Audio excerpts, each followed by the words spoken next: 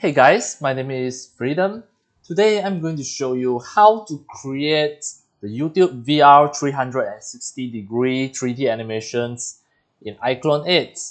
How to use the iClone 8 to render the virtual reality 360 degree and upload to YouTube. So start from now, I'm going to show you step by step.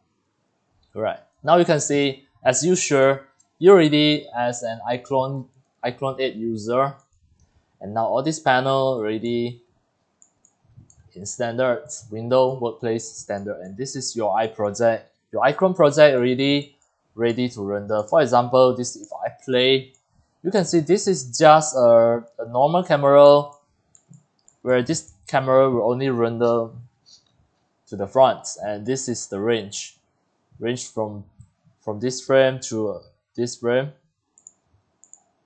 This is the frame one two three two.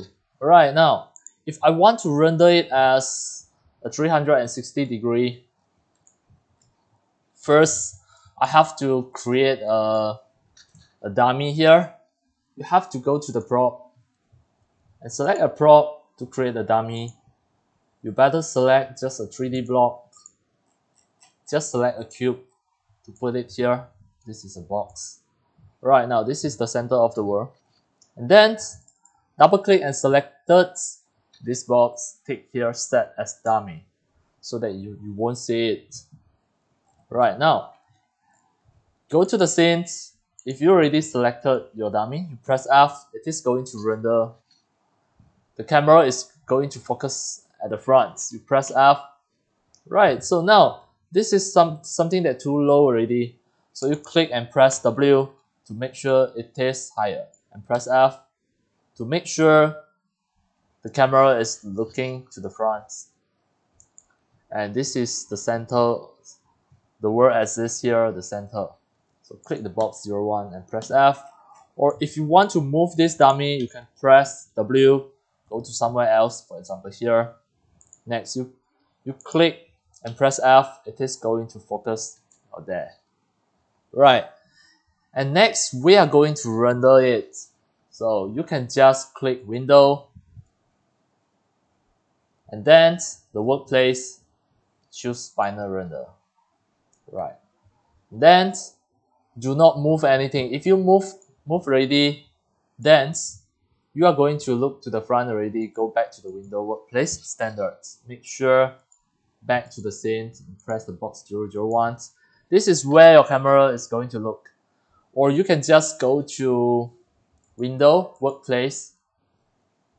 Alright, go to the window and you should be able to see the render. Where is the render? The toolbar, it's not here, workplace. Final render is here, or you can choose all panel. If you choose all panel, you can just close close anything at, at the bottom. And now you will have a, a render at here. So next, back to the scene, click the box and press F. Under your render, choose video. And then you already have the video range that you want to render. Next, you can just scroll down, tick enable 360 degree panorama. Then this one also tick it. Enable for YouTube and Facebook. This one you have to tick it so that later, after you finish render your video, you upload it to YouTube or Facebook. It is automatically turn your video to 360 degree format. Right now, click box 001 and press F. Always press F. The dummy is where your camera is going to focus. Okay, that direction. Next, if you already selected the range, you can just scroll down. The format of the video is MP4. Selected already, scroll down and click export. Alright.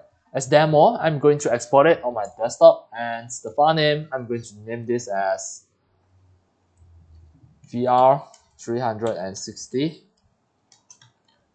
degree sample 01. Then I click save. Now it is going to render and it, it, it will take a few minutes here. And you can see in my computer, it is rendering very, very slow, quite slow for every second it is about two frames if I right click here task manager Then I can see the performance of my computer. This is the GPU. I right click change to single engines. You can see right click change to multiple engines. Now it is using my CPU about 20 about 29%. And how about my GPU? I have two GPU. It, it is using both. The first one is the AMD 27% and also the NVIDIA GeForce. This is G, this is this is RTX 3060 Ti. So it is utilized about about 26% and I have to wait for a while until it finish. Now it's about 39%. Right, now it's almost done. It is about 90%. It is still rendering. Just now I paused the video recording for a while. Now it just left left a few frames here, about 20 frames. It is almost ready. And once it finished, it is going to automatically compile it to become a 360 degree VR video. And you can play it inside your computer as well. This is Microsoft Windows 10 or if you are using the Microsoft Windows 11. So now the media export complete, open it. Now you can choose yes and just have a look. Now you can see it automatic play play by using the VR 360 degree. And you can see actually my camera is just focused at at the dummy just now. The dummy is here. Of course, it is not going to render the dummy. Right. If you don't want to play with the 360 degree, you can click here to untick play as 360 degree video. Then it is going to play as the equal rectangular format. Actually, this is how how the texture is going to plot. This is the, the UV map, something like this. We call it equal, equal rectangular map. Alright now, where's my video? My video is at here just now. I choose it to save it on my desktop. Now I close this. If I double click to play, now everything already done. This video, you can upload it to YouTube as usual and YouTube is automatic convert it to 360 degree VR video and you don't need to do any any works everything will be automatically next you back to the icons and this one of course you can save it save everything now let's say if you want to render render the camera the a moving camera it is still the same Right, let's say now if I choose, for example, the linear camera, the orbit camera. For example, linear camera, linear camera, it is going to, to focus at Camilla. So now I can adjust as well. Press double click Camilla, press F, something like this. Right, if I render like this, it's okay as well. We can test it, just render a few frames.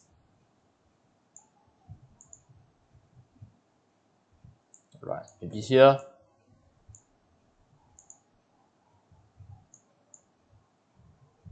Right now, just try to export your VR 360 degree sample 02. I click save it is going to render just a few frames, about 100 frames here. And we can just wait for a while and see what is the effect. Now this is just 114 frames. Right, for this camera, because of the camera is moving and always focus on this avatar, so the whole the whole 3D, the whole 360 degree VR is moving as well. Then if you are wearing a, a VR Google, then you can just see the moving effect of the camera. Now it's almost done, just left a, a few frames here. And done. Once once done already, then it can open. You can see now this VR cam is keep, keep on focusing on on this avatar. Of course, you can turn your camera away to, look at other places. Now, this is just a few seconds, right? you can always look everything just because of just now the camera is a little bit focused up so the behind just a little bit focused to the bottom it is just normal right so all of this video you can upload it to facebook you can upload it to youtube as well. The facebook and youtube is automatically turn it to to the vr 360 degree video. It is really convenient just by using the iClone 8 you can do anything.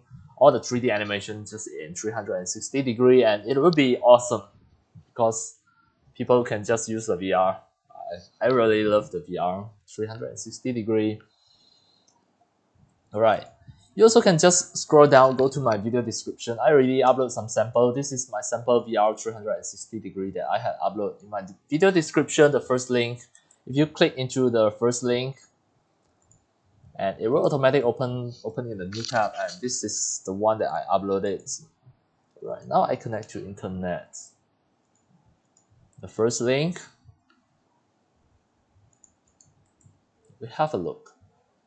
You can see this is the this is a project file that I take from iClone 5 old generation file and I also render it as 360 degree this one is uploaded by me a few days ago. It is really awesome to, to just upload some 360 degree video. Alright, that's all. It's cool. That's all for today about how to create the YouTube 360 degree video in iClone 8 to render it as a VR, render it as a 360 degree video. And that's all for today. Thank you for watching. If you love my video tutorial, if you feel all these tutorials are very helpful to 3D animations and game developing, you can subscribe to my YouTube channel and also turn on the mini bell and select all so that when next time I publish a new video tutorial, you receive a notification immediately. See you in my next video. Enjoy, happy animation and game developing. See you.